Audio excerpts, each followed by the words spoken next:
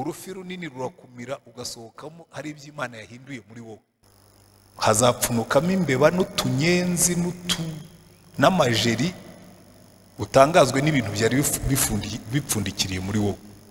Buriya abantu benshi impamvu ubuzima bwabo usanga butagira kuri gahunda. Bafite imbeba n'inyenzi n'amajeri bifungiyemo ahantu bigeza nijoro bikavuga. Karara bijwigira kavuga yewe ntabwo njya nsinzira nijoro ni amajeri ajwigira kuko imana yaramfashe inshyira mu nda y'ifi inshyira mu nda y'ifi buriya rero abantu benshi bafite utuntu tw'utwumba turimo imbeba ngo yajyaga ashaka no kurya ibiryo by'ingurube na byo bakabimubuza. Ngo ntibabimuhe. Kandi uzakora kuri ibi biryo by'ingurube zacu? Inkoni zizakurya narafunzwe mfungwa mu bintu ntazi. Maramo amezi icyenda muri gereza ubwo nyine ni mu nda y'urufi. Mu nda y'urufi kabisa. Iri ni naryo somo rikomeye cyane rya yona. Nugera mu bibazo naho yaba ari we wabyiteje ujye wibuka ko imana yo ihora igutegereje. Kuko buriya mwitegereje neza ubundi yona ukurikije ko ari wateje kariya kaga. Bakamuta mu rufi bakamutana ko mu nyanja. Ubundi yagombaga kurekera akavuga ati n'ubundi sindi bwirirwe ntakiri imana narayihemukiye narayiteye umugongo none izi ni ingaruka z'ubuzima bwanjye ni ingaruka zo kutumvira kwanjye.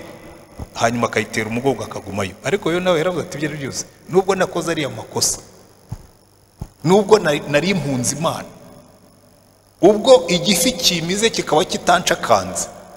Reka ntakiri imana wenda yakwisubiraho ikanyibuka ikamvana mu nda y'ifi. Uburyo bwiza bwo kugira ngo ukire impagarara zo ku mutima. Uburyo bwiza bwo kugira ngo ukire n'ibikomere. Ni uko usubira inyuma ukaturira imana ibyo wanyuzemo byose. Uzafate ubuzima bwawe wicarane na yesu. Wowe tumva rero mwami yesu ngiye kugutekerereza nsubire inyuma mfungure utubati twose tw'ubuzima bwanjye kandi nkubwire aho ibintu byanjye byapfiriye. Uzatangara. Uvukiye mu muryango wa gikristo ariko ntabwo nari nkijijwe mu by'ukuri. Nuko rero tujya muri siporo n'abajama banjye. Ah, tugeze muri karitsiye duhura n'inshuti yanjye yacuruzaga kanyanga iduha igicupa kinini cyane kiriya cya nili cyuzuye kanyanga cya nili. Yego. Abo twari kumwe iritiro n'igice ya kanyanga abo twari kumwe ntabwo bari bazi kunywa kanyanga mu by'ukuri. Nuko basomaho hanyuma irabananira hari ku wa gatandatu. Uwo wa gatandatu ababyibuka bize mu, mabodingi twakundaga kugira ibintu byitwa boom cyangwa se ruwaziri abantu abanyeshuri bakabyina bakagira ibiki. Ubwo rero twarimo twitegura kuza kubyina nijoro.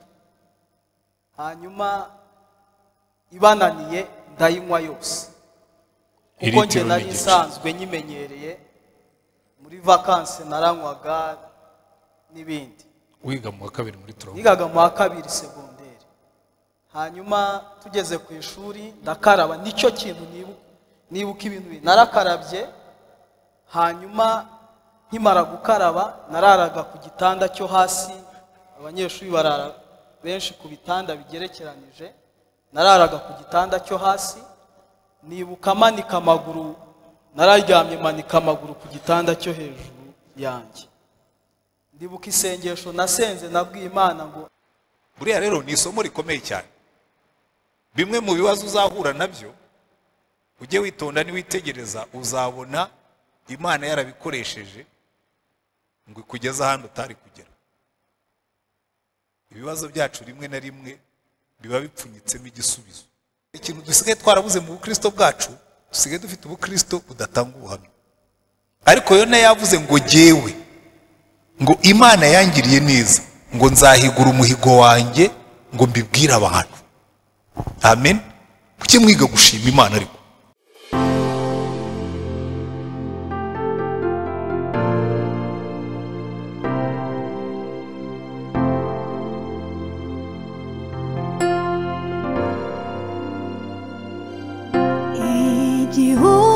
cyiza kiradutegereje mu ijuru. Kizicarwamo n'abatowe na yesu. Uyu munsi ni umunsi turagaruka kuri ririya somo hariya muri kiriya gice cya kabiri kuko nashatse ko tuhatinda. Buriya hari igihe twiga bibiliya tugategekwa n'igihe nyine ukagenda usimbuka ugakomeza ukagenda kandi washoboraga kwicara rwose ugacukumbura ukakuramo amasomo akomeye cyane. Ubushize naratekereje nti ariko aba bantu reka ne kubasimbukisha iri sengesho rya yona nzabaho umwanya babanze bisanzure ba kuko n'ubundi icyo tuba twaje ni ukwiga ijambo ry'imana. So amasomo atanu mu nda y'urufi Eh, ukaza ukatubwira uti ngewe nitwa kanaka cyangwa nyiranaka.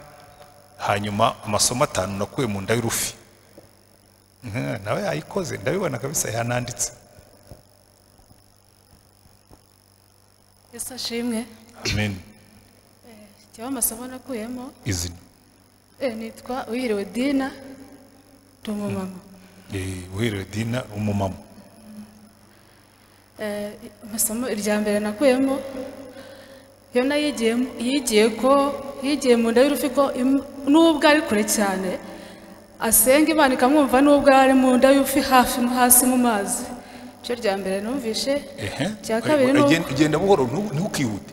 Buriya nimushaka kumenya kubwiriza mujye mugenda buhoro abantu babanze bumva isomo urivuge neza utomoye utihuta utitera impumu sibyo? Banza utuze we kugira impumu sibyo? Isomo rya mbere. Eh, irya mbere ni uko na- nakuyemo ko nubwo yari ari hasi cyane. Nubwo yari ari hasi cyane. Mu nda y'urufi hasi mu mazi yumvaga ko nasenga imana iri bumwumve. Aha. irya kabiri. oya. Buriya rero isomo iyo ushaka ko riba isomo kandi ibyo uvuze koko ni byo jya unashyiramo nk'agasobanuro gakeya hanyuma abantu babyumve neza. Mbese ubibagarureho cyangwa ubyigarureho. Eh, agasobanuro kuko ubwo gake. ni bwo riba rihindutse isomo ryawe. Eh, ni uko umuntu ashobora kugera ahantu kure kure cyangwa agahura n'ibibazo bikomeye akumva nta cyabikemura ariko iyo yibutse ko hari imana yumva akayisenga iramwumva. Yego. Ikindi ni uko irya kabiri ni uko yamenye ko imana imana ye ariyo ifite imbaraga yonyine. Kuko ba bandi bari bari kumwe barasenze imana zabo ntizabatabara barinda bajya kumutabaza. Imana ye rero bamaze kumujugunya bahise babona imbaraga zayo. Ryo rya somo rya kabiri nakuyemo Eh, ushobora kugenda wumva wisuzuguye ariko wisuzuguye mu bantu. Ariko iyo wibutse ko hari imana yawe wubaha ifite imbaraga. Ishobora kukurengera cyane cyane nko mu bantu eh, batemera imana hari igihe ugenda bakakugaya cyangwa bakakwereka ko nta imana yawe yashobora. Ariko iyo igukoreye igitangaza bamenya ko imana yawe ikomeye. Ikindi name- eh, ikindi yamenye ko ntaho yahungira imana mu isi yose. Eh, ndetse no munsi y'isi ntaho wayihungira.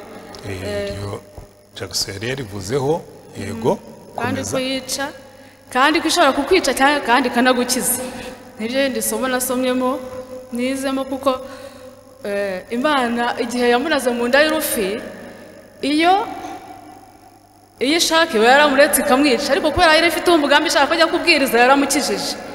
Rero yabonye ko naryo ni isomo nigiyemo irya kane ni uko yamenye ko eh, aberekeza umutima ahandi hatari ku mana ku iteka baba bimuye ubababarira. Iryo ni irindi somo nigiyemo kuko kureka imana ni- ukwihombya nta wundi buhungiro wabona. Nta wundi mutabazi ushobora kubona utayigaruka ibyo wajyamo byose ukajarajara uragaruka ukagaruka kuri ya mana ifite imbaraga. Inagira n'imbabazi ikubabarira n'aho waba waracumuye. Irya gatanu yigiyemo gushima imana. Mu buryo bw'amagambo azamura ijwi rye ashima imana kandi ahiga n'umuhigo wo gutamba ibitambo ayishimira ko ko ahi- uwo muhigo aravuga ati "Nzahi- nzayi- niba navuga ngo nzayiririmbira kandi noneho nzane n'igitambo gifatika cy'ishimwe cyo kwishimira ibyo yankoreye. Njyewe ni byo nizemo. Yego. Eh wari umuhaye ama- amashyi rwose muyamuhe nta kibazo. Eh amasomo atanu. Ndagira ngo twumve undi. Ndiwumva hari ikintu yabonyemo ashobora kudusobanuriraho.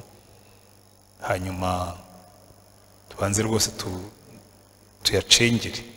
Amasomo atanu dukura muri ubu buhamya bwayo no mu nda y'ifi.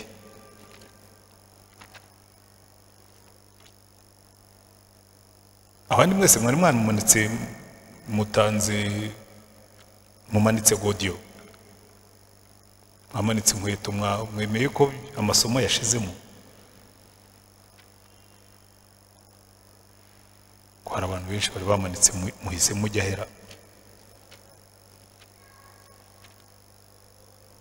nta n'uwashimangira. Ngo avuge atari ko buriya nubwo kiriya bakivuze ntabwo bagishimangiye. Uwifuza gushimangira azashimangire ukaza iyo itaramucika ko turaba tugiye kujya muri yona igice cya gatatu.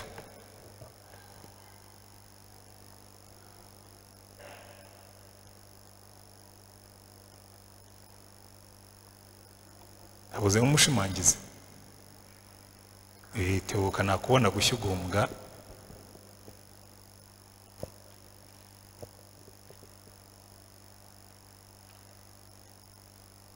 banza tubwire uko witwa hanyuma nurangiza uduha amasomo wakuyemo amena yitwa keza saburine saburine keza.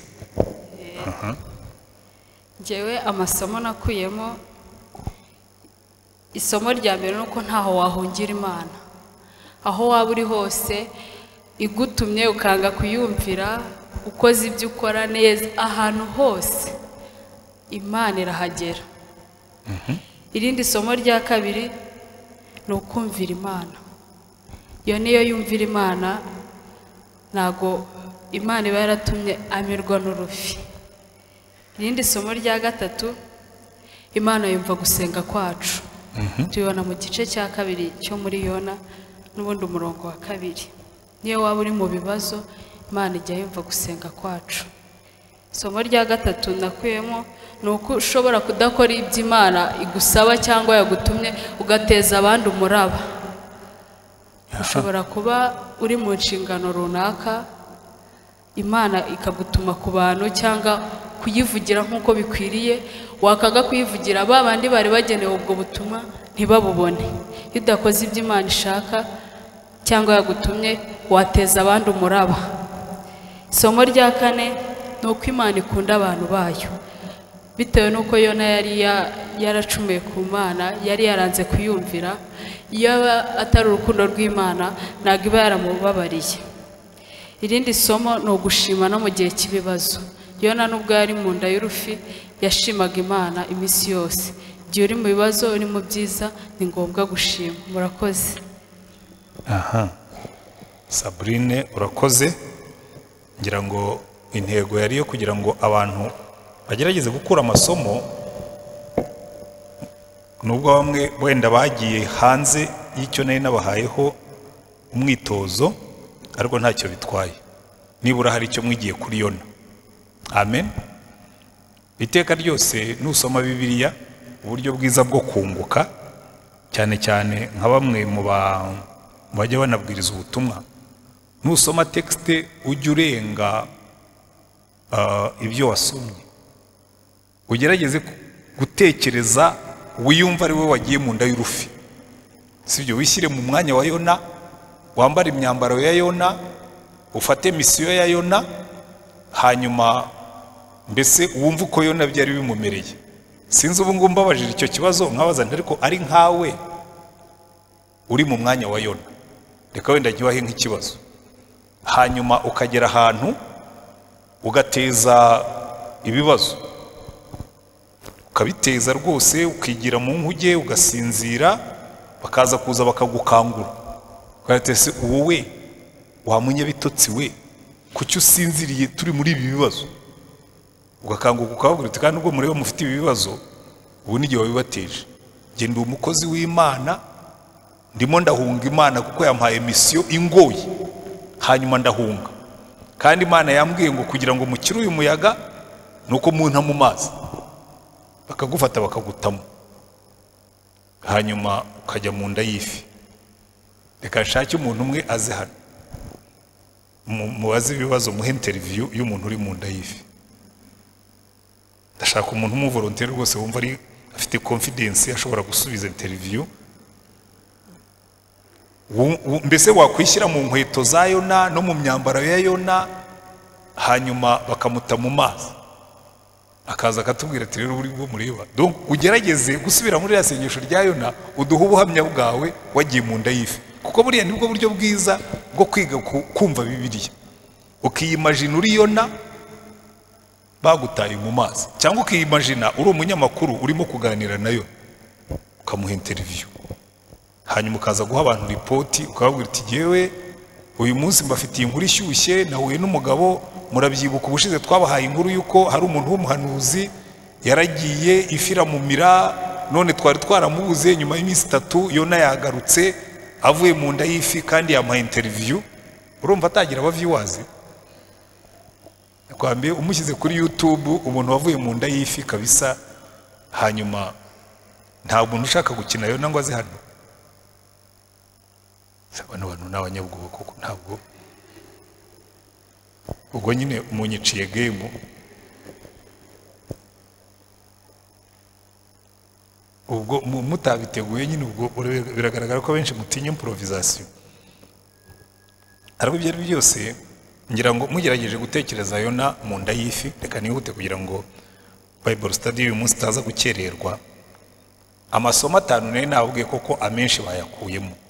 Ariko reka nyashimangire mu buryo bwo gusoza iki gice cya kabiri. Ikintu cya mbere ngira ngo abavuze bose bagarutseho ni ririya somo rya mbere y'uko ntawe ushobora guhungira imana. Yona yari yagerageje guhunga imana. Imana yamubwiye ngo ajye iburasirazuba kuko ini ni we hari iburasirazuba Mu- muri kino gihe cy'uno munsi ngira ngo ni mu gace ka za babiloni hirya iyo ngiyo. Hanyuma we agana muri esipanye kuko tarushishi aba, abahanga muri teoloji bayishyira ku nkombe za Hispania ku nyanja. Wari umujyi kuri mediterane umujyi turisitike umujyi w'ubucuruzi. Mbese ni nk'uko imana yakubwira ngo ujye ahantu hadasobanutse cyane umujyi muri ino minsi w'ubucuruzi abantu bajyamo cyane ni dubayi ukigira dubayi kuko ni ku nyanja ni ahantu h'ubucuruzi ni ahantu byoroshye no kubona indege zijyayo. Bo bagendaga mu bwato ariko muri kino gihe bagenda mu ndege. Yigira ahantu bamwohereje ahantu ubuzima bugoye aravuga ati ngewe nzajya hari comfortable yigira itarushishi ubundi itarushishi hajyagayo amato menshi muzabona tarushishi iravugwa cyane muri bibiri hari ahantu hajyagayo amato agiye kuzana ibicuruzwa by'uburyo bwose. Bamwohereje ahantu hari ibibazo ajya hari comfort. Ngira ngo ni igishushanyo cyiza ni isomo rikomeye cyane tuvana muri yona. Kuko hari igihe natwe imana idutuma ini ni we ariko tugahitamo kugitarushisha njya mbyigisha abapasitori urabizi buriya twebwe abapasitori tugira akazi kagoye. Hari igihe bashobora kugutuma inganzo nganzo rimwe muri paruwase zibiriya iyo cyangwa nkoto. Kenshi iyo dushaka kuvuga abantu baba muri paruwase za kure tubashyira nganzo cyangwa nkoto. Ukagira iyo nkoto harabaza ngo aho nkoto iherereye? Tuririya mu karere ka gakenke. Hanyuma ukavuga ngo ariko ngo ngewe ngo nashaka kwigira i remera. Kandi imana irimo kugutuma nkoto.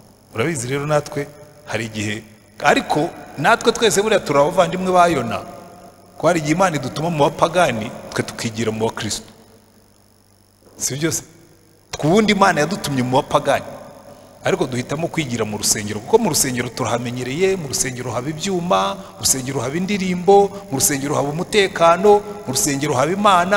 Niko tubyibwira uretse ko imana yiba hose imana ikadutuma mu bapagani hanyuma tukigira itarushishi mu rusengero. Isomo rya mbere ariko ntaho twahungira imana.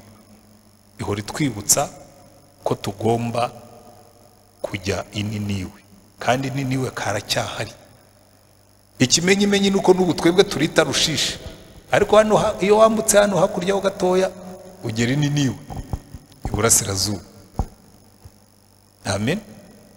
Icya kabiri ngira ngo na cyo bagiye bakigarukaho Ah, iri ni naryo somo rikomeye cyane rya yona nugera mu bibazo. Naho yaba ari we wabyiteje. Ujye wibuka ko imana yo ihora igutegereje. Kuko buriya mwitegereje neza ubundi yona ukurikije ko ari wateje kariya kaga bakamuta mu rufi bakamutana ko mu nyanja. Ubundi yagombaga kurekera akavuga ati n'ubundi sindi bwirirwe ntakiri imana narayihemukiye narayiteye umugongo none izi ni ingaruka z'ubuzima bwanjye ni ingaruka zo kutumvira kwanjye hanyuma akayitera umugongo akagumayo. Ariko yo nawe yaravuze ati ibyo ari byo byose. Nubwo nakoze ariya makosa. Nubwo nari impunzi imana. Ubwo igifi kimize kikaba kitanshakanze reka ntakiri imana wenda yakwisubiraho ikanyibuka ikamvana mu nda y'ifi. Iri ni isomo rikomeye cyane dukwiye kwiga. Kuko abantu benshi iyo bageze mu byago cyane cyane iyo ari bo babyiteje mpura n'abantu benshi akubwira ati jyewe nakoze icyaha ntwara inda ibyo gusenga ndabireka. Nakoze icyaha baramfunga ibyo gusenga ndabireka kuko numvaga imana idashobora kumbabarira. Ariko ikintu yona yarushije abandi ageze mu nda y'ifi abyitangiraho ubuhamya aravuga ati nageze mu nda y'ifi nagize ibyago ntakiri uwiteka aransubiza nahamagaye ndi mu nda y'ikuzimu. Ikuzimu ni ho wijyanyeyo kubera kwanga kumvira imana ariko ageze mu nda y'ifi. Mu mwijima mwinshi aravuga ati ariko ubwo nkihumeka reka ntakiri imana wenda imana yanyumva. Mu bizabaho byose nugera mu bibazo ibyo ari byo byose niyo yaba ari wowe wabiteje. Uzibuke ko imana ihora idutegereje kandi dutegeye amaboko. Buriya icyatumye Yesu aca umugani w'umwana w'ikirara kwari ukugira ngo atwibutse yuko niyo waba waratwaye ibintu by'imana byose ukabyangiza. Uriya mwana w'ikirara yari yaratwaye ubutunzi bwa se aragenda arabwaya anywa inzoga arasambana arabyina arinezeza. Hanyuma ibibazo biza kuvuka. Amafaranga arashira ageze aho ajya kuragira ingurube. Ari we wabyiteje. Ariko ageze aho arabyibuka aravuga ngo ibyo ari byo byose. Nubwo ndi hano ari igihe wabyiteje. Kwa data. Data agira imbabazi. Nzagenda mubwire ngo singikwiriye kuba umwana wawe basi mfata nk'umugaragu wawe. Kuko yibutse yuko ngo kwa se abagaragu baho bararya bagahaga. Aravuga ati ninsubira iwacu. Wenda bazareke kumfata nk'umwana. Bazamfate nk'umugaragu. Mbese mba umwana w'ikirara w'umunyamahanga utazwi. Bampa akazi ariko nibura aho bajya bangaburira.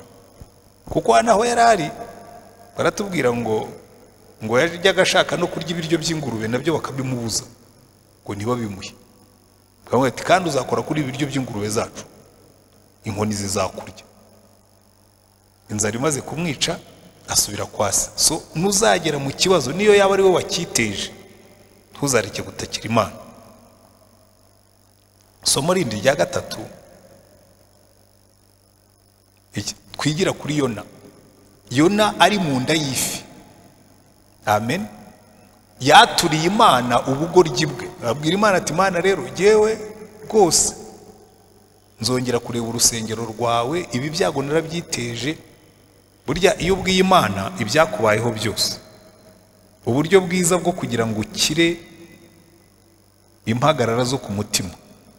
Uburyo bwiza bwo kugira ngo ukire n'ibikomere. Ni uko usubira inyuma ukaturira imana ibyo wanyuzemo byose. Yona wagira ngo ashushanya urugendo rwe aravuga ngo naramanutse ngera mu mizi y'umusozi. Umva uko yavuze ngo wanjugunye imuhengere mu nyanja umwuzure warangose ibigogo byawe n'imiraba yawe byose byarandengeye. Ndavuga nticiwe imbere yawe ariko nzongera kureba urusengero rwawe rwera. Amazi yarantwikiriye angera ku bugingo. Imuhengeri harangose urwera rwanyizingiyeho mu mutwe ndamanuka njya mu mizi y'imisozi. Urumva iyo nagenda atubwira aho yanyuze burya uburyo bwiza bwo kugira ngo ukire. Cyane cyane iyo wagize ibikomere byinshi ni ugusubira inyuma ukagenda ubwira imana ibyo wanyuzemo byose. Gusubira inyuma ukagenda ubwira imana ibyo wanyuzemo byose. Kuko bimwe na bimwe buriya bu- abantu benshi wenda ari abicayemo hano wenda n'abandi barimo kudukurikira. Ntabwo nabanje kureba barimo kudukurikira hanze ariko nabo baba ari benshi. Reka mbabwire ikintu kimwe. Buriya abantu benshi bafite utubogise mu mitima yabo batigeze bafungura. Udusanduka utubati. Ugashyiramo akabati ukagafunga kandi ugafungiramo ibintu bidasobanutse neza. Njya nkunda kubigereranya n'imbeba. Iwacu mu rugo habamo korido hari koridoru irimo icyumba kandi iyo koridoru itungukwaho ni- ni- n'inzugi eshatu. Urugi rumwe rujya mu cyumba urundi rujya muri- n'urundi rujya hanze. Higeze kujyamo imbeba. N'ubu ngubu uje urugi rwaho rwabikwereka ko higeze kujyamo imbeba. Higeze kujyamo imbeba nijoro.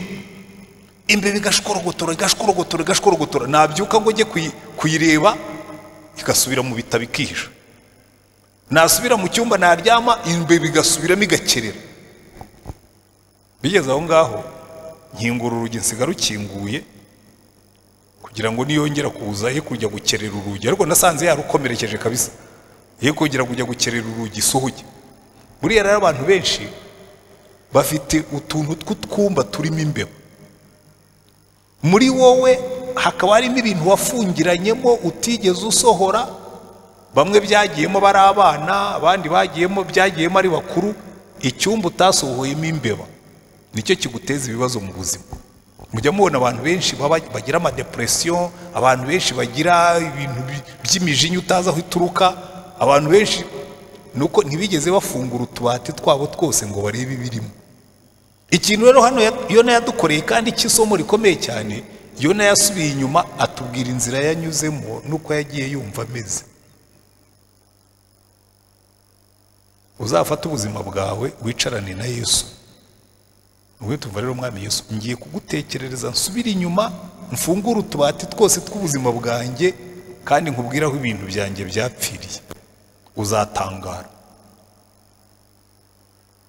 Hazapfunukamo imbeba n'utunyenzi n'utu n'amajeri utangazwe n'ibintu byari bipfundikiriye muri wowe.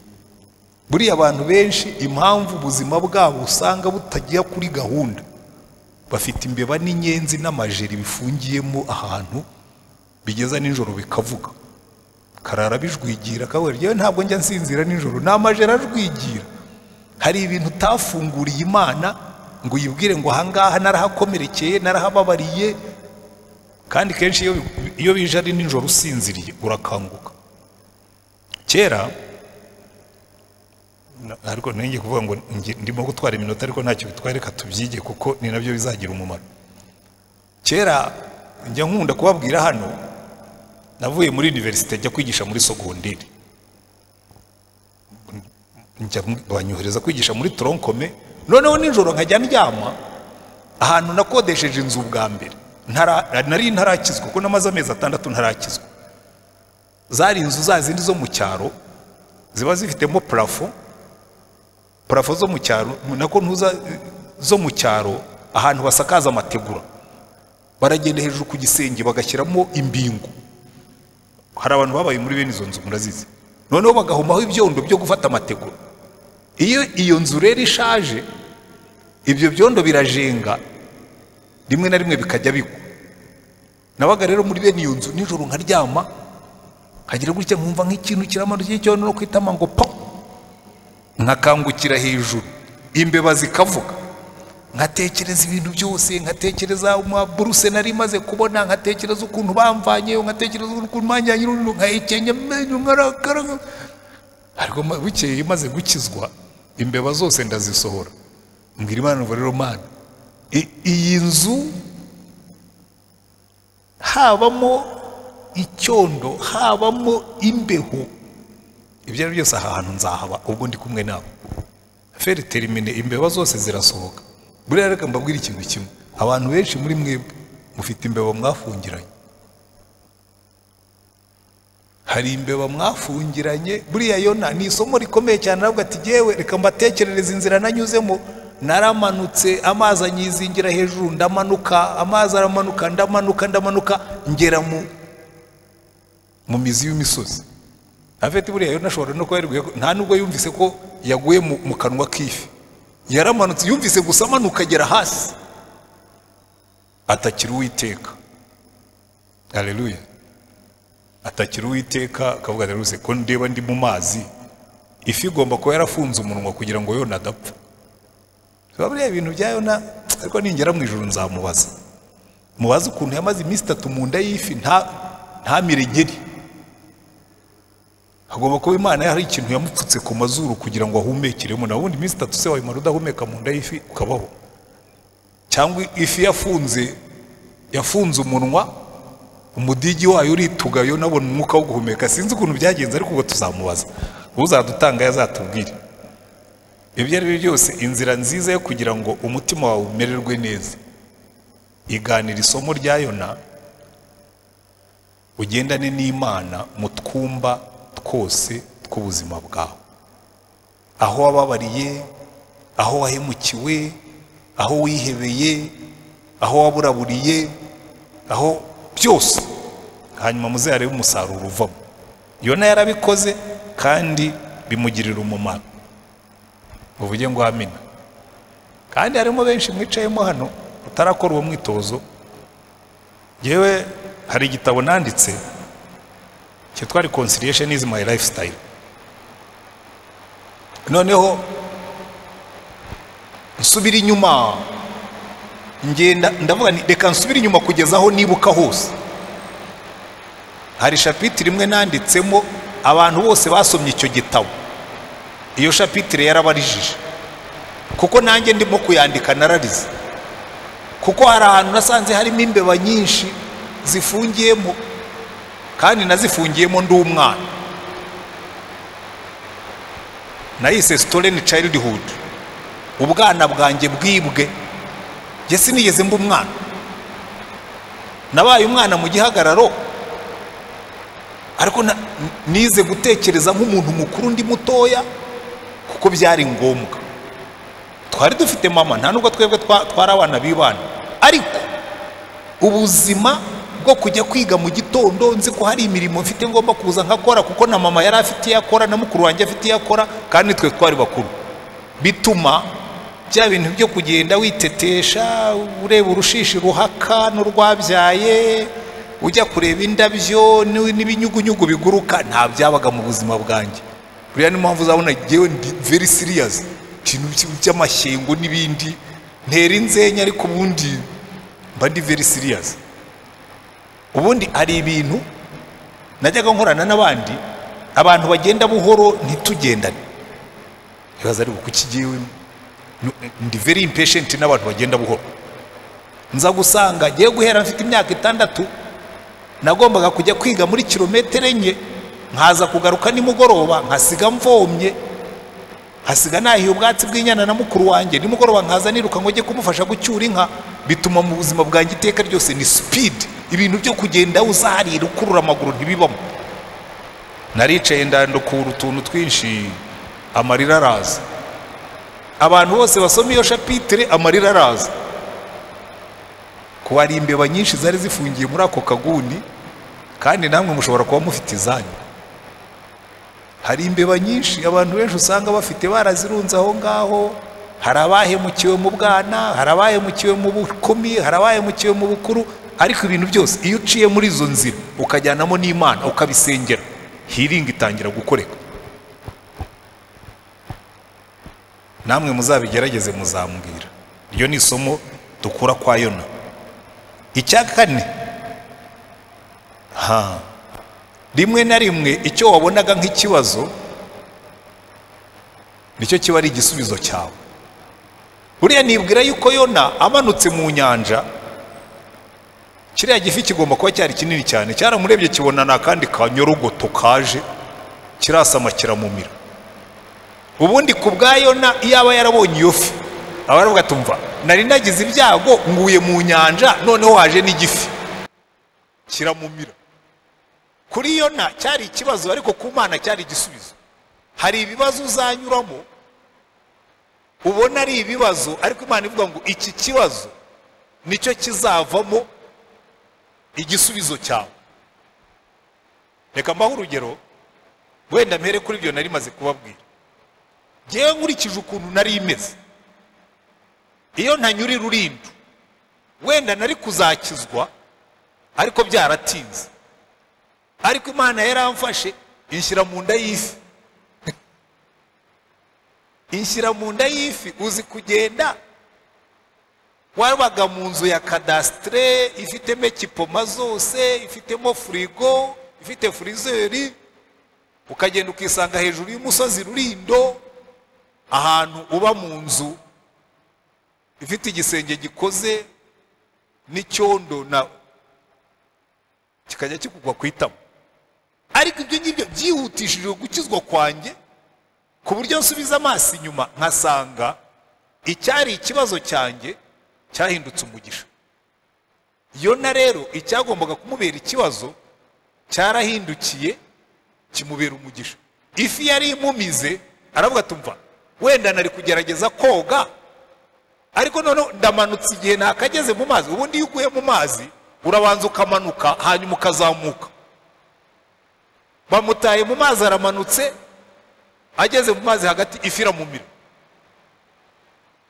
ariko icyo ngicyo cyabaye ikibazo cye ni cyo cyaje kumuhindukira igisubizo. Kuko mu nda y'ifi ni ho imana yamuhishe irangije itege- itegeka ifi imuruka. Iriya nyanja ntabwo yari kuyoga ngo ayirangize. Ariko ifi yahindutse submarine. Muzi buriya bwato bwo mu nyanja bu- bugenda munsi y'amazi. Imana imuremera submarine ifunga igifu cy'ifi imuhambiriramo ntiyongera ku submarine ya yona iragenda itera hakurya yona asohokamo babona yona aragiye. Very interesting icyari ikibazo cya yona cyahindutse igisubizo cye. Buriya rero ni isomo rikomeye cyane.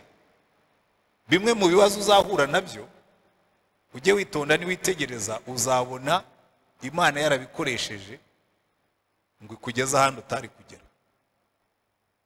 Ibibazo byacu rimwe na rimwe biba bipfunyitsemo igisubizo. Ushobora gufata ingero nyinshi mu buzima. Ahubwo reka nze mbaho umwanya namwe mutanga ubuhamya mwasanga harimo na bamwe. Kuko hariya umurongo wa mbere imana yategetse ifi ategeka urufi runini rumira yona. Amara mu nda y'urufi iminsi itatu n'amajoro atatu. Hanyuma umurongo wa cumi na rimwe ni uko uwiteka ategeka urufi ruruka yona imusozi hari igihe rero imana igushyira mu kibazo ifite ibintu irimo kugukosoraho. Ikavuga ngo iki kibazo ni rwo ruganda ngiye kumucishamo kugira ngo avemo umuntu utandukanye n'uwo yari we. Ngewe rwose uru- inda y'ifi amafi menshi. Njya mbwira abantu yuko buriya amasomo y'ubuzima akomeye ajyanye no kwizera. Nayigiye muri jenoside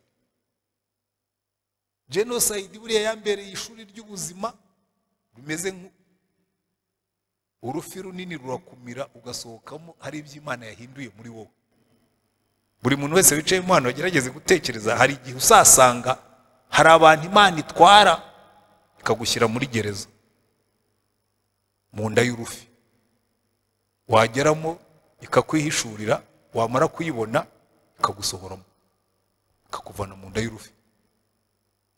Hari umuntu ifata ikagukubita ubushomeri ugashomera kabisa inzara ikakurya. Hanyuma yazajya kugukuramo ugasanga yari itetse ugasanga yaruye. Ukavuga ngo yesi ibi ngibi imana yari ifite umushinga hari aho yari irimo kunjyana. Amen. Iryo ni isomo rikomeye cyane. Irya gatanu barivuze iyo wimuye imana uba winjije mu bihombo. Nubona wimuye imana. Hari umugabo twahoze tuganira kare. Arambwira ati yewe rwose ati narwaje umugore ibyo gusenga mpita mbireka. "Eh, ni ni cyo gituma ufite ibi bibazo. Iyo uba utararitse gusenga ubu byari kuba binyoroheye kugukemurira ikibazo. Ariko kubera ko ntaho ubarizwa ko nyine wis- wishyize mu gihombo. Hari igihe wimura imana ukibwira ngo urayihimye ntuzigere uhimana n'imana ureka gusenga. Kuko iyo utangiye guhima imana ukareka gusenga ni wowe ubihomberamo. Yona yarabyivugiye aravuga ati rero buriya ndashaka kubwira abantu mwese. Ngira ngo dina yabivuzeho. Aravuga ngo ngo aberekeza umutima ku bitagira umumaro by'ibinyoma. Baba bimuye ubababarira. Ukura umutima ku mana ukawushyira ku bantu cyangwa ku bintu ukaba wihemukiye. Ukiteza ibihombo byinshi. Amen. Hanyuma isomo rya nyuma. Mwakuyemo atanu nari nabasabye ariko ngewe nongewe irya gatandatu ariko n'abandi bagiye bayavuga imana nigutabara ikaguha umugisha cyangwa ikakugirira neza mu bundi buryo. Ntuzibagirwe kuyishima no gutanga ubuhamya. Yona akora ikintu cyiza aravuga ati hari abantu bajya bimura imana ariko jyeweho nyuma yo kubona mvuye mu nda y'urufi. Jyeweho nzagutambira igitambo n'ijwi ry'ishimwe nzahigura umuhigo wanjye kuko agakiza gaturuka ku witeka sinzi impamvu iri somo rya karindwi nta muntu n'umwe warivuze. Kuko ubundi isomo rikomeye ririmo hariya. Ni uriya murongo wa nyuma uvuga ngo agakiza kava ku witeka haba agakiza mu buryo bwo kurokoka turokoka ibyaha cyangwa gutabarwa tuva mu byago agakiza kava ku witeka aya rero ni amasomo tuvana kuri yo no mu nda y'urufi. Hanyuma reka mbahe umwanya niba hari umuntu ushaka gutanga ubuhamya bugufi yabutange hanyuma tujye mu gice cya gatatu. Ariko aya masomo ngira ngo yari ngombwa. Hari uwungukiye kuri yo no mu nda y'urufi ahasoma cyangwa se kuri aya masomo arindwi tumaze kubona.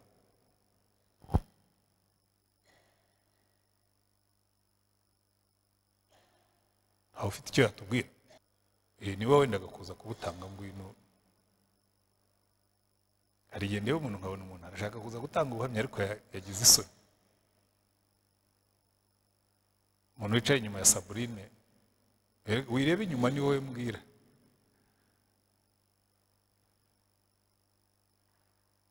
Byanze Eh, hari igihe ubona umuntu yicaye ukabona arimo araseka ashaka kuba yagenda akavuga hanyuma akaba yagize ubwoba. Icyo nshaka kubafasha muri Bible study mujye mutinyuka. Hano ni umwanya wo gutinyuka tugatanga ubuhamya tukisanzura hanyuma tukunguka.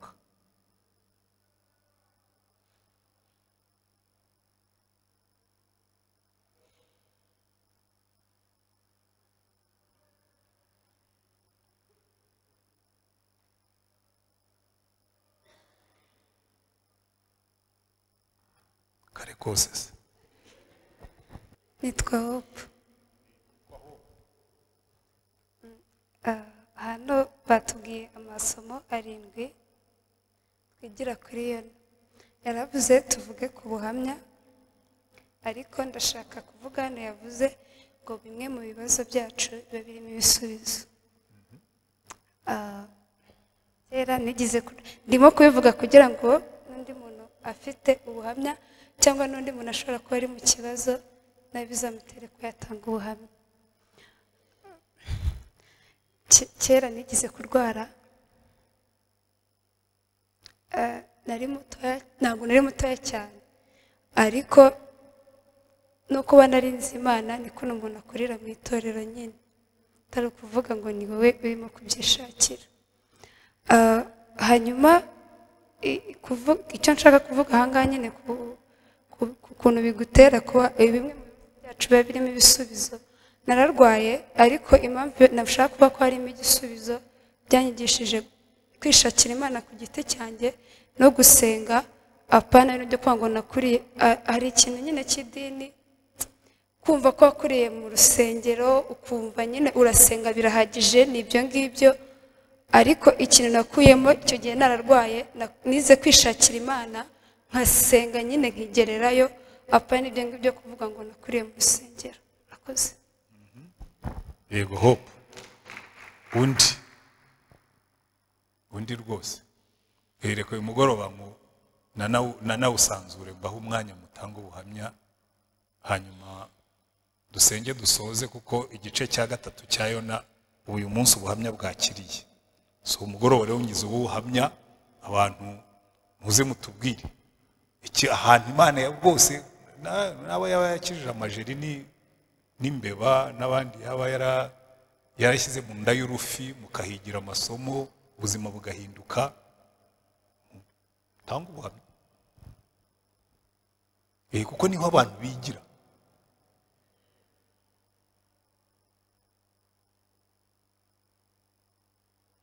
Ahundi kandi hari abantu benshi ndimo kureba nkabona barashaka kuvuga. Ariko bameze nka ok noneho ngiye kugenda ntomboza. Abo nabonye kandi bafite ubuhamya barimo gushaka gutanga ariko bishwe n'isoni. Mube mwiteguye.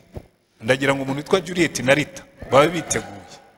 Ntababonye nawe komeza yesu ashimwe amen. Ah, ubuhamya nanjye nanga nubwo ah, rimwe na rimwe iyo tuje imbere y'imana bakabwiriza ijambo ryayo cyane cyane twese buri muntu hari ukuntu imana imugenderera ukumva ijambo rikubwira ngo ibyo urimo bivemo cyangwa se komeza kugendera imbere y'imana ukinangira. Buriya na yona ahunga akagenda definitely imana yari yavuganye nawe hanyuma aranga aragenda. Cyane cyane wenda ku bagabo nuko njya mbona abagabo bake ari bo baza mu ijambo muri study no ku cyumweru. Buriya twebwe abagabo kenshi iyo uri mu byaha ingaruka nyinshi zigera ku bawe. Ni ukuvuga ngo iyo ufite ihabara mu kabari urihigurira ifi cyangwa se inkoko haba iwawe ntibazirya. Kubera ko ahanini ibyaha bigira ingaruka. Ibi bintu leta yirirwa ivuga ngo abana benshi baragwingiye b'aba- b'aba- b'abantu bafite uko babayeho burya ntabwo ari ukuvuga ngo ni abana b'abakene. Iriya roma y'ubuzima buri hanze aha umuntu ashyira ingufu mu kunezeza ibimunezeza hanze akiyibagiza ibyiwe icyaha iyo uri mu cyaha rero cyane cyane bigira ingaruka ku muryango wawe ari ugusambana biguteza sida ukayizana mu muryango wawe abana bakayivukana cyangwa se n'umugore wawe yona ibyaha yagiyemo kwanga kumvira uwiteka byateje ingaruka bariya bantu babu- babura ibyabo ariko muri nyuma y'ubuzima bw'umuntu ku muntu umuntu mu buzima ni uko iyo uri mu byaha nawe ubwawe bikugiraho ingaruka kenshi. Ndavuga ku bantu bakuru namwe bana cyangwa se abamama n'abapapa. Ah, turabibona ingaruka y'icyaha ubundi bibiri iravuga ngo ni urupfu ariko n'ingaruka y'icyaha urayibona mu buzima bwa buri munsi. Ikindi cya kabiri cy'ubuhamya nenda kuvuga mu bibazo hari ubwo imana ikugenderera ukanga kumva ibibazo unyuzemo bikagukururira. Kuza imbere y'imana. Rimwe na rimwe akanyafu k'imana rimwe na rimwe abantu bavuga ko kuko nemera uburyo butatu hari ibintu bikuza kubera ko ari wowe wabi- wabizanye wanze kumvira imana hari ibyo abantu bakugambiraho cyangwa se ari uburyo wowe ubwawe wakoze ibyo wanga nyine imana ikavuga iti oke ngaho ukomeza aho ngaho uzayibona.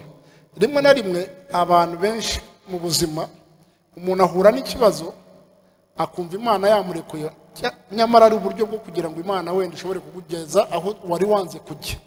Ntekereza ko yona kwanga kugita nuza neva akagita rushishi agarutse. Ntekereza nuko wenda satani ari umuriganya iyo twahuye n'ibibazo turasenga tukagira tugakora imihigo. Ariko agarutse ntekereza ko agomba kuba yaraje yemeye ati iyi ni imana nyamana. Imana yandindiye hariya imana akenshi iyo turi mu bibazo rero akenshi ni ho ahantu umuntu amenyera imana. Urugero rwanjye mu bibazo byinshi umuntu anyuramo niyo ngiye gusenga mfite ibibazo. Nabwira imana ndashaka kukubona unsindishira iki kibazo. Yagitsindisha yakigutsindira mu by'ukuri ukumva urakomeye gukomeza kuyemeza ko ari imana. Ariko ikinani ikibabaje kirimo ni uko iyo birangiye tumera nka yona umuntu aka- aka- akagenda agiye nyine akibagirwa. Murakoze. Aha. Eh arakoze james. Reka twumve rero reka mpere kuri rita rita rwose ko muje muherekeranije murashaka gufatanya ubuhamya reka twumve rita atubwire muri ariya masomo utoranye muri mwe iryo wumvise rwose ryagukoze ku mutima isomo ryankoze ku mutima ni irivuga ngo imana nigutabara ntuzibagirwe kuyishima no gutanga ubuhamya. Aha. Impamvu nzanye ntugiriye tubiziranyeho mm, mfite ubuhamya bw'uko bibiri na cumi na kane hari icyo imana yankoreye. Yego. Ntabwo njya ngira isoni zo kubivuga. Nza no muri bible study hari umuntu ndi gutumira bari babiri. Ariko umwe nyine ashaka nko kumbwira ngo kuba ntwite n'igitangaza imana yankoreye. Ndamubwira nti hari n'ibindi iba yarakoze byinshi nuko umuntu aba atabizi. Muhaho ubuhamya butoya ubwo rero muri uyu mugoroba imana yabibonye ko n'ubundi ngomba kubusangiza abantu bayo bibiri na cumi na kane narafunzwe. Burya. Yego. Eh, duhe inkuru rero. Narafunzwe mfungwa mu bintu ntazi. Maramo amezi icyenda muri gereza. Ubwo nyine ni mu nda y'urufi. Mu nda y'urufi kabisa? Hanyuma najyaga mburana ya minsi mirongo itatu mujya mwumva nyine nta cyaha nyine ariko uburana bagusubikira igitangaza rero imana yankoreye gituma ntanga n'ubuhamya ni uko muri iyo myaka icyenda yose namazemo amezi icyenda. Amezi icyenda sore ni uko nyuma yaho byabaye ngombwa ko bankatira imyaka umunani. Mu myaka umunani rero nyibamo ariko sinabyishimira numva umutima wanjye ntubyakiriye. Nkomeza gusenga imana. Ariko umwaka ugitangira nari nagiye gusenga kumwe tuza mu gitaramo. Ndasenga numva ijwi ry'imana riri kumpatira gusoma muri zaburi ibice mirongo itanu umurongo wa karindwi.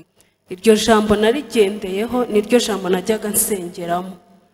Hanyuma muri iyo myaka rero bari bankatiye murumva byari urugendo rurerure kandi rwari rukomeye pe nk'umuntu w'umukobwa.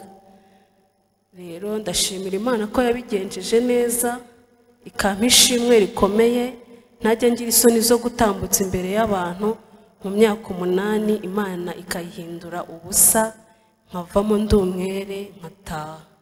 Rero ni ishimwe rikomeye mu mutima wanjye mpora mvuga kandi ntabwo nzareka kurivuga Aha. ibihe byose. Naho ibindi byose rero byaza nta kintu kijya kintera ubwoba.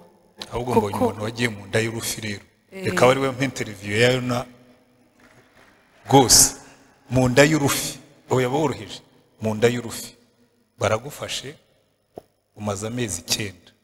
Bakujyaho impaka. Iminsi mirongo itatu ihinduka indi mirongo itatu ihinduka indi mirongo itatu biba amezi icyenda. Bagucira imyaka umunani. Hanyuma ubona urufi rurakurutse. Eh, wumvise umeze uturi mu nda y'urufi. Gusa ku myaka umunani wamazemo ingahe? Uretse ayo mezi icyenda. Nahise mburana. Wahise uburana. Nta- kwezi kwashize. Eh, nahise njurira nyine imana ihita ibikora barandikura neza urufi ruhita rukuruka. Ubona barahamagaye ngo uwitwa rita kuri direkisiyo baramushaka. Wumvaga umeze uti usohotse mu nda y'urufi. Numvaga ngomba kuzashima imana ariko nanone numvaga ari ari ubuzima butoroshye. Kubera ko ahantu nari ndi hari ari gereza y'abagore gusa. Ifungiwemo abagore magana atandatu. Hari hari abana hari hari abakuru hari n'urungano nyine ariko bwabaga ari ubuzima bugoye. Rero kuba ngewe nari mvuyemo byambereye nk'igitangaza. Iyi myaka tumaranye kuki utari waraduhaye ubwo buhamya? Abantu benshi barabizi. Sharomo mbana na yo buri munsi barabizi. N'abantu njya ngerageza nabo guhura mu buryo bwo gusenga haba mu cyumba cy'amasengesho cyangwa mu- mu yandi materaniro ubwo buhamya ndabutanga. Numvaga nanjye wagombaga kuba warambwiye igihe cyari iki igihe cyari iki okay. Reka twumve na juliet. Cyangwa we yaraherekeje murakoze eh, reka mpere ku bya rita Na- nabonaga aho bari bicaye hariya bashyugumbwaga ubona umwe arimo gusunika undi. Nawe reka mbatinyure. kuko tubiziranyeho naranamusuye nahoze mwibutsa nyine yari muri gereza ya- y'abagore nk'uko babivuze noneho akajya avuga ngo ni gereza y'abagome. Ndamubwira nti tugende tujye kuvuga ku kuntu nyine wavuye muri gereza. Ariko nanjye sinabura icyo mvuga ku nyigisho ya yona. Buriya imana hari ukuntu yemera kunyura ahantu kugira ngo ikwigishe. We wanyuzeye manuka mu, mu mizi y'imisozi utubwire. Ikintu cyankomereye mu buzima ni ukwiga. Nabonaga kwiga kwanjye bigoranye cyane. Kugeraho kandi nkabikunda. Nkiri mutoya nyine nkiga pirimeri nkageraho nifuza ngo byibuze uwampa kugera muri sogonderi niyo nagera mugira ngo nkapfa ariko nkabona uko ba- ababa muri bodingi bigenda. Najyaga nyine mbona abandi bajyayo nkumva ndabyifuza. Rero ah, icyo gihe ni byo bintu byanyigishije gusenga. Ndabyibuka nkisoza kwiga pirimeri nakoze amasengesho y'iminsi itatu niyiriza ntawayantegetse. Ntekereza ko aho hantu naho imana yahanyujije kugira ngo inyereke ko bikomeye mbone ko nta wundi nakwishingikirizaho ariyo yonyine yabishoboza. Hanyuma ashoje kwiga nanone numvaga nisoza kwiga nyine ubuzima buzaba buryoshye nzahita mbona akazi nyine mbese ubuzima buryoshye nabwo imana yemera kunyuza mu nda y'urufi rw'ubushomeri bw'imyaka ine. Nabwo ndasenga nabwo nize gusenga cyane aho hantu naho icyo binyigisha ni uko imana yemera kunyuza ahantu kugira ngo nyine ikubone. Ibyo wishingikirizaga bikwereka yuko atari byo waboneramo gutabarwa ahubwo ari imana. Rero ikintu nizemo nanone ni ukuvamo ugashima kandi ukamenya yuko ahantu hose uri imana ibasha kukumva. Amen. Eh, ubwo juliet na rita nabonaga rwose bashyigumbwa muhampera amashyi ushigaje umuntu umwe. Umuntu wumva rwose afite ubuhamya adashaka yuko bupfuba abe yangezeho. Hanyuma aba ari we dusorezaho ndabona mwarimu bedi aje. Aha. Ariko hari n'abandi mbona rwose bavuze ati ariko igihe kirangiye vuba natwe twashakaga kuvuga. Ndimo ndababona. Ndashaka nanjye uburyo nigeze kuba mu nda y'urufi Ah, ni uburyo bubiri. Ubwa mbere nigaga mu wa kabiri segonderi ahantu mvuka ni agace kabamo kanyanga. Kanyanga. Rero navukiye mu muryango wa gikristo ariko ntabwo nari nkijijwe mu by'ukuri. Nuko rero tujya muri siporo n'abajama banjye Ah, tugeze muri karitsiye duhura n'inshuti yanjye yacuruzaga kanyanga iduha igicupa kinini cyane kiriya cya nili cyuzuye kanyanga cya nili. Yego. Abo twari kumwe iritiro n'igice kanyanga abo twari kumwe ntabwo bari bazi kunywa kanyanga mu by'ukuri. Nuko basomaho hanyuma irabananira hari ku wa gatandatu. Uwo wa gatandatu ababyibuka bize mu, mabodingi twakundaga kugira ibintu byitwa boom cyangwa se ruwaziri abantu abanyeshuri bakabyina bakagira ibiki. Ubwo rero twarimo twitegura kuza kubyina nijoro. Hanyuma ibananiye ndayinywa yose. Kuko njye nari nsanzwe nyimenyereye muri vakansi naranywaga n'ibindi. Wiga mu wa kabiri muri turongo nigaga mu wa kabiri segonderi hanyuma tugeze ku ishuri ndakaraba. Nicyo kintu nibuka ibintu bibiri. Narakarabye hanyuma nkimara gukaraba nararaga ku gitanda cyo hasi. Abanyeshuri barara benshi ku bitanda bigerekeranije. Nararaga ku gitanda cyo hasi nibuka manika amaguru nararyamye manika amaguru ku gitanda cyo hejuru yanjye. Ndibuka isengesho nasenze nabwiye imana ngo nunkiza iry'uyu munsi. Ntabwo nzongera kunywa inzoga. N'iryo jambo nibuka. Ibindi simbyibuka nongeye kwibona saa munani z'umunsi ukurikiyeho z'amanywa. Abandi barimo bava muri mese cyari ikigo cy'abapadiri twigagamo. Bava muri mese ariko nkumva sinzi igihugu ndimo mu by'ukuri. Ndababaza nti se ubu ni sangahe barambwira bati "Ubu tuvuye muri mese byari nko mu ma saa munani nkumva sinzi isi ndimo A- ariko numva bimbereye igitangaza. Ubwo urumva andi masaha yose nayamaze mu nda y'urufi mu by'ukuri. Cyangwa bamaze mu- ndiba y'ubwato wisinziriye. Ikuzimu rwose hanyuma icyo gihe na- mpitamo ku- kureka inzoga pe. Namaze amezi nk'atatu. Ibyo kurya byarananiye. Njya muri refegitwari abandi baba barimo kurya agiye nkumva ntabwo ngifite ubuzima mu by'ukuri. Hanyuma ndeka inzoga. Ariko nsubiye muri vakansi mpura n'abagabo b'inshuti zanjye nibo twasangira nari ngeze ku kigero cyo gusangira n'abagabo bakuru bambyaye. Barambwira ati vayo wambwa we po so yaratwigishaga akanatugurira vayo nawe. Subira ku nzoga. Ariko nkumva sinibagirwa cya gihe imana yankijije kuko mu by'ukuri ni nkaho nari napfuye. Ngezeho ndazireka. Ikindi cya kabiri nibuka nigeze kuba mu by'ukuri nsa nkaho ah, ari nko mu nda y'urufi kubera ubwo buzima bw'uburara. Kandi nta muntu wari ubizi. Nari ikirara gicecetse n'ubu ibintu byinshi mbikora ncecetse ariko ntabwo bikiri ibibi ariko icyo gihe nakoraga amanyanga ncecetse kandi muri karitsiye banshima no mu rugo banshima. Hanyuma kubera ubwo burara turonkome sinayitsinda neza. Ntayitsinze neza mu gihe cyo kujya gushaka ishuri hanyuma mbura icyangombwa cya farije cyatumaga dukomeza kwiga. Ndakibura burundu. Ndagishakisha ndakibura burundu. Ubwo byari bisobanuye ngo iwanyu mu by'ukuri ntibazashobora kukurihirira.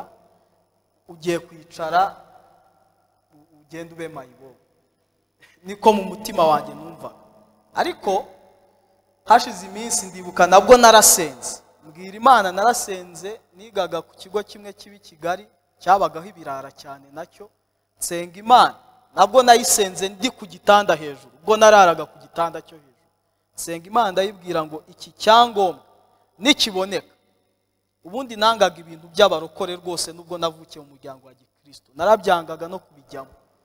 Nsenga imana ndayibwira ngo iki cyangombwa nikiboneka nkiga nta kibazo mfite. Ndahita njya muri gurupe protesita abanyeshuri basenga. Hanyuma ku wa mbere nasenze ari ku cyumweru ku wa mbere. Mukuru wanjye umwe arampamagara arambwira ngo ntuzanire icyangombwa ko cyabonetse. Numva ntabwo numvise ibyo ambwiye neza. Ndamwazaniye icyangombwa ati ni icyangombwa. Hanyuma ku wa mbere icyangombwa yakizana njya muri gurupe de protesita ariko sinari nkijijwe sinari nkijijwe n'ubwo nagiye nyura muri ibyo bintu sinari nkijijwe ahubwo gaheza yabaye ndangije segonderi nkundana n'umukobwa ni ubwa mbere numvaga nkunze ubundi nabagaho ubuzima bwa gisirikare nta bintu nk'ibyo pasita aba by'imiteto n'iki kuko twakoreye mu buzima nyine buri tafu natwe numvaga ari ubwa mbere nkunze mu by'ukuri umukobwa. Hanyuma ariko nabwo dutandukana hadashize n'amezi nk'atatu.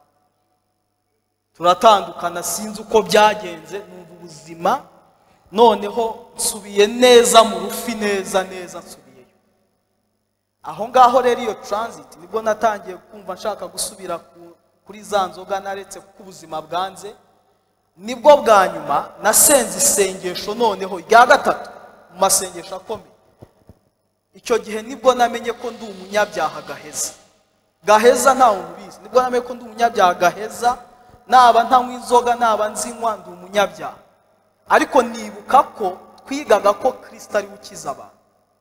Hanyuma ndabyibuka nta nubwo ari kure naragiye ngiye kwaka ibinini byo kunywa kugira ngo nsinzire. Urumva nari ndi mu rufi mu nda neza. Hariya kwa rando nshaka ibinini. Umuganga arambwira ati ntabwo tujya dutanga ibinini nta ordonance numva umujinya uranyishe n'amarira ndirukanka ntega moto. Njya she papa Agnes eh, eh, mama Agnes hano ruguru uzamuka ku muhanda w'amabuye. Ngezeyo mbura abantu banseriva kandi bahari. Inzoga. Kandi mfite n'amafaranga icyo gihe nari mfite akazi. Ndangije mpita manuka nirukanza mu rusengero twari dufite mbere.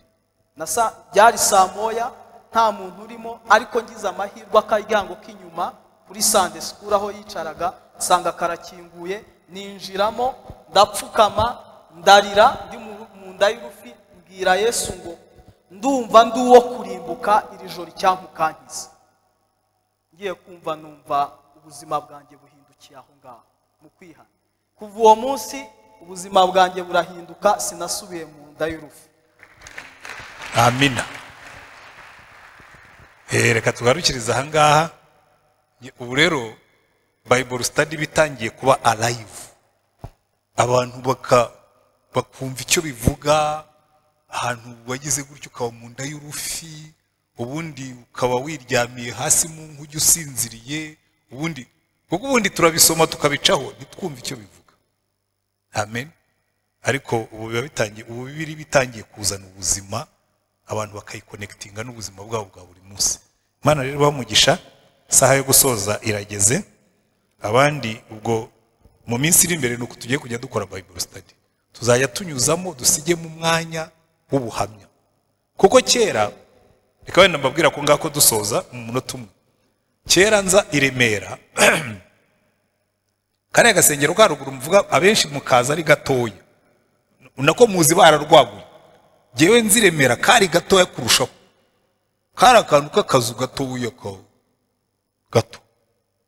Noneho abantu bateranaga muri bible study barazaga bakicarira ku ntebe z'imbere baka ntabwo ari izi ngizi zegamirwa wari ufite izindi zimwe zirambuye izi zegamirwa zaje nyuma noneho bakicara hari umugore w'umukecuru wa cidikoni akaza bagakubita ingoma. Icyo gihe amasente yari ataraza n'ibyuma ntabyo twagiraga twabwirizaga n'amajwi.